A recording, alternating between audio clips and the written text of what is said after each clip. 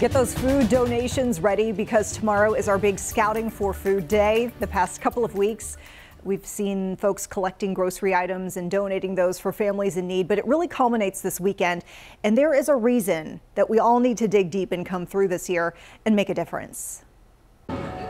Sorting and shuffling Preps underway ahead of a weekend of scouting for food. It means a lot to me to be able to come to a food pantry right now during this pandemic to be able to get food for me and my grandbabies. That was Loaves and Fishes client Veronica Bost telling us in 2021 why this decades long campaign to end hunger meant so much to her. But today, the help might be even more important. The food pantry says community need for its services rose 38% since then, with 106,000 people shopping at stores last year. 2023 could be just as tough. Rising housing prices with rising grocery prices. I just had to get the brakes repaired on my own vehicle. So anybody that experiences a financial issue like that and has to choose between getting the car fixed or putting food on their table, we're here so they don't have to choose between those things. And if you'd like to help, Saturday is go time. Drop off non perishable food items at select sites around the Charlotte Metro. We'll be eager to greet you at some of the places, like the Harris Teeter at Arboretum. And keep an eye out for those scouts. If you got a scouting for food door tag last week, they are coming to your home to collect as early as 9 a.m. Their support towards us, other scouts in the community putting towards effort in order to give back to their community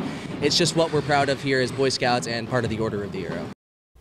Yeah, tomorrow's going to be a lot of fun for a very good cause, of course. If you'd like to learn more, look for this Scouting for Food article. This is going to be in the featured section of our website. So right there, scroll down on the homepage, WCNC.com. It's got all the drop-off spots around town and also the types of items Loaves and Fishes is looking for.